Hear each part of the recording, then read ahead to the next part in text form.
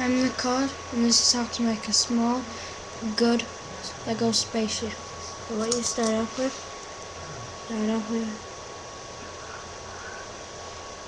a 10 piece. And what you do, one of these,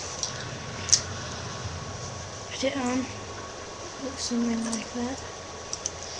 Another piece something like that. Put that piece in.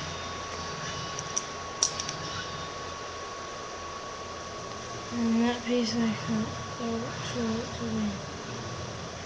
like that. Two pieces. And like that.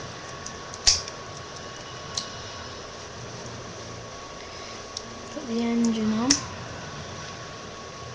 Seconds on like that. On. Like that. And that's some small spaceship. Yeah, I put pieces there.